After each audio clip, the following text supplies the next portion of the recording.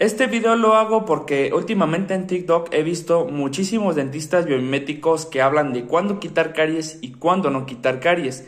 Y yo sé que tanto muchos alumnos de odontología como incluso ya dentistas que están ejerciendo van a tener dudas de entonces cuándo sí quitar caries y cuándo no. Y aquí les voy a dar algunos parámetros que ustedes se pueden basar con fundamentos científicos para que lo puedan realizar de la mejor manera. Y primero que nada voy a empezar con esta premisa.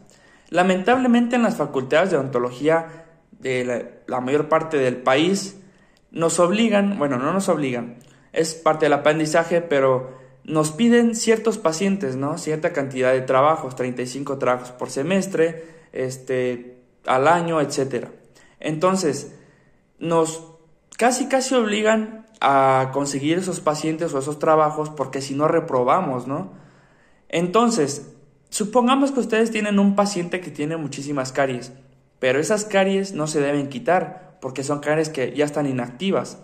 Ya teniendo al paciente en la clínica odontológica, uno no le puede decir al docente, doctor, no le puedo quitar estas caries porque en la clasificación de IGDAS me dice que son caries inactivas. El doctor te va a decir, es tu calificación ahí tú verás, si quieres reprobar, tiempo no te queda, falta poquito para terminar el semestre, para entregar los trabajos. Lamentablemente el alumno comete muchas iatrogenias.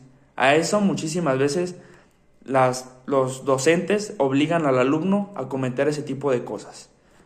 Porque les piden tantos trabajos que es casi imposible conseguirlos o muy difícil conseguirlos. Quien ya pasó por estudiante de odontología me sabrá decir. Entonces, en estos casos quitamos muchísimas caries que no se tenían que haber quitado. Entonces uno tiene esa mentalidad de es una manchita negra, es caries, hay que quitarla, ¿no? Y no es así. Ya hoy en día este, se sabe que hay caries que están inactivas y que no hay que hacerles nada, que simplemente hay que monitorearlas. Y aquí les voy a dar unos parámetros para que ustedes sepan cuándo sí y cuándo no. En los parámetros que normalmente se basan los biomiméticos son en ICDAS en estos parámetros que están aquí, que del 0 al 3 no hay que tocar eh, el diente. No hay que tocar el diente, simplemente hay que monitorearlo, hay que decirle al paciente que se cepille los dientes, que modere su dieta cariogénica, lo que son azúcares, carbohidratos, para que estas caries no avancen.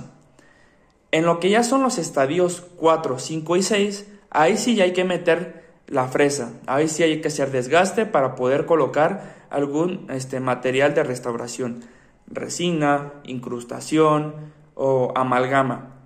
Un paréntesis aquí. Las amalgamas sí son buenos tratamientos y muchas veces ustedes, este, alumnos que están en la facultad, les obligan a poner amalgamas. Entonces, mientras ustedes hagan una buena operatoria, la hagan con conocimiento, con su dique y aislamiento absoluto, créanme que esa amalgama le puede durar muchísimos años al paciente. Pero bueno, ese ya es otro tema. Volvemos otra vez a las caries.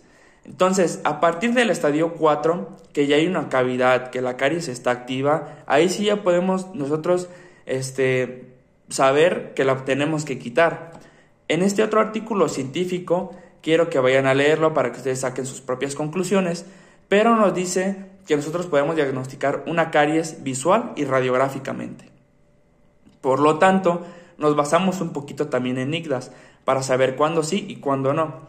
Igual en este artículo menciona, bueno, viene esta tablita, este, que igual al final eh, del video les voy a dejar las imágenes para que las vean detenidamente, pero en esta tablita nos enseña o nos menciona que si hay una caries que está inactiva y no hay cavidad, hay que dejarla así, simplemente hay que monitorearla ver que el paciente se cepille sus dientes, que el paciente no tenga enfermedades sistémicas como la diabetes, que puede hacer que las caries se desarrollen con mayor rapidez. Entonces ahí la vamos a dejar. Hay que este, enseñar al paciente a que cuide su salud bucal y muestra estas otras parámetros en donde ya menciona que podemos colocar sellantes para que la caries ya no siga avanzando o incluso este, eh, que ya podemos meter lo que es la fresa y poder meter lo que es un material restaurador. Así es de que con estos parámetros ustedes ya pueden decidir si quitar caries o no quitar caries.